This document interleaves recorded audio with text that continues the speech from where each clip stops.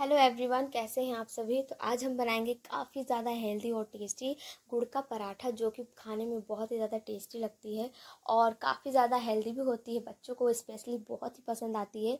तो एक बार आप इस रेसिपी को ज़रूर से ट्राई करिएगा।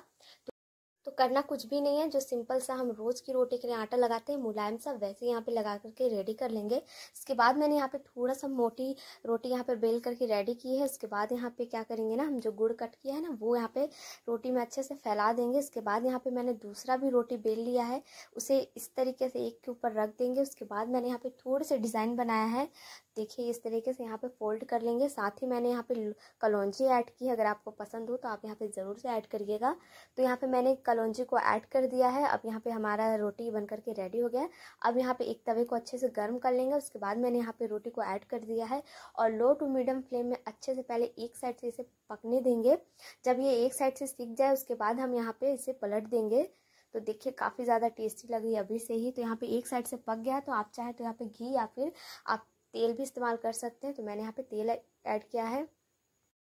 तो यहाँ पे हमारी रोटी सिक करके तैयार होगी। स्पेशली ये बच्चों को काफ़ी ज़्यादा पसंद आती है और बहुत ही ज़्यादा टेस्टी भी लगती है और काफ़ी ज़्यादा हेल्दी भी है। तो एक बार इस रेसिपी को आप ज़रूर से ट्राई करिएगा।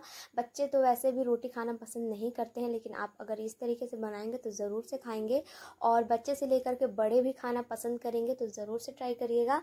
तो यहाँ पर हमारा जैगरी स्टफ़ पराठा बन करके तैयार हो गया है और कैसी लगी आज की आपको ये रेसिपी मुझे कमेंट में ज़रूर से बताइएगा।